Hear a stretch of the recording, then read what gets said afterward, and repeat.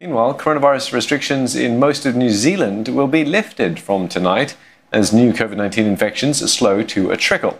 No new cases have been reported, and the daily number has been in the single digits for more than two weeks now. Only Auckland will keep measures in place, although they will be eased as well. Essentially, Auckland needs more time.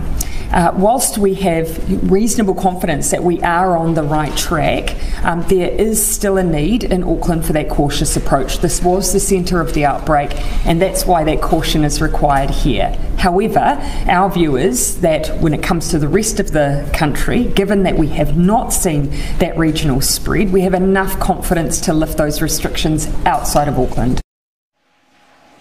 From Wednesday night, gatherings of up to 100 will be permitted in Auckland instead of the current limit of 10. But people will still have to wear masks on public transport and practice safe distancing outdoors for another two weeks. The city was the epicenter of a fresh outbreak last month. It was locked down in an attempt to curb the spread.